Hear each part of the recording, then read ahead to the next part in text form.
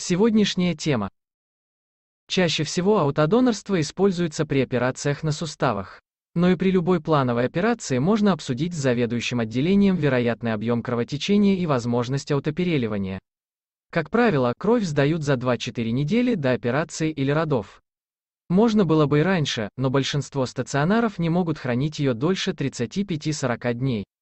Будущие мамы тоже могут посоветоваться с доктором, который их ведет, относительно заготовки крови. Для них это может стать даже более актуальным, поскольку вероятность неожиданного кровотечения в родах намного выше, чем во время плановой операции. Но можно застраховать себя и от совсем нежданных кровопотерь, скажем, при ДТП и других непредсказуемых ситуациях.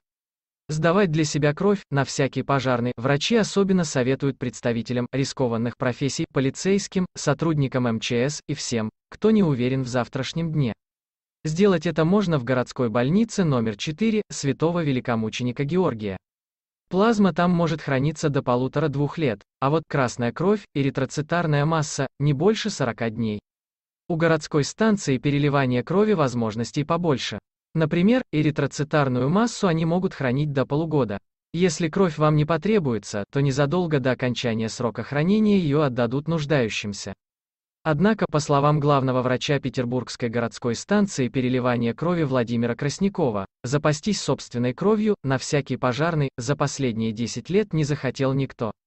Где в Петербурге сдать кровь, можно узнать здесь Елена Артищева. Ставь лайк и подписывайся на наш канал.